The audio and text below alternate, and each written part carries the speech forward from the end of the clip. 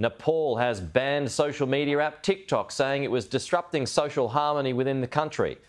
The app has already been partially or completely banned in other countries, and that includes India. Multiple world governments have raised cybersecurity concerns over the Chinese owned social media platforms in recent months.